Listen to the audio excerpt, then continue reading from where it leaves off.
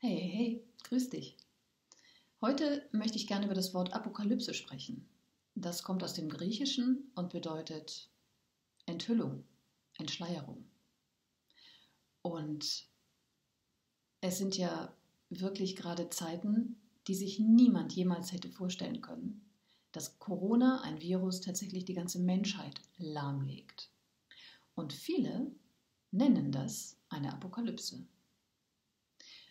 Und ganz oft ist damit ganz viel Angst verknüpft. Kein Wunder, denn wir haben ja alle gelernt, ähm, das steht ja schon in der Bibel, in der Offenbarung, dass, dass es das jüngste Gericht ist, dass wir alle zur Rechenschaft gezogen werden und alle geprüft werden. Aber heute möchte ich dich mal dazu einladen, das mal auf eine positive Art zu sehen. Ja, es ist eine Zeitenwende, die hier stattfindet. Es ist eine Art Weltuntergang, der hier stattfindet. Aber was geht hier wirklich unter? Was geht hier wirklich unter? Was hier wirklich untergeht, ist diese alte Welt, dieses alte Denken.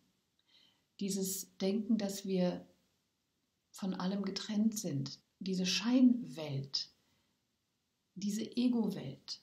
Das ist das, was untergeht. Und das ist die gute Nachricht. Denn diese alte Welt funktioniert auch so nicht mehr. Diese alten Weltbilder von immer höher, immer schneller, immer weiter, von Konkurrenz, von mehr, mehr, mehr. Das ist das, was untergeht. Und insofern ist es eigentlich eine sehr gute Nachricht, dass jetzt eine Art Apokalypse stattfindet.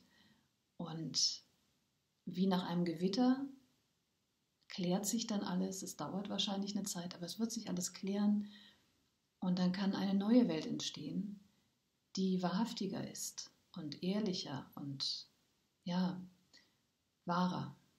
Und in der wir uns alle tatsächlich so zeigen können, wie wir wirklich sind, ohne Angst. In Liebe. Viel Spaß dabei.